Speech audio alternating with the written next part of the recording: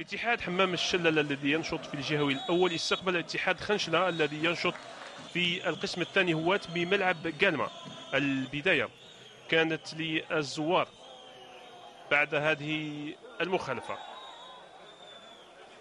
حيث تمكن اللاعب زرماني التوفيق من فتح مجال التهديف في الدقيقة الثالثة على إثر هذه المخالفة المباشرة.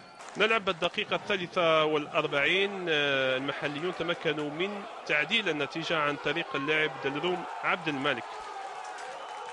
هدف لهدف كانت نتيجة الشوط الأول. الهدف الثاني لاتحاد خنشلة جاء في الدقيقة الثامنة والستين عن طريق عبروق أكرم. وفي الدقيقة الثانية والسبعين اللاعب ماتيب عبد المالك يقضي على أمال اتحاد الشلالة وينهي مغامرة الكأس بالنسبة لهذا الفريق الشاب الذي سيتفرغ للبطولة. وحظ موفق لأبناء خنشلة فيما تبقى من منافسة السيد الكأس.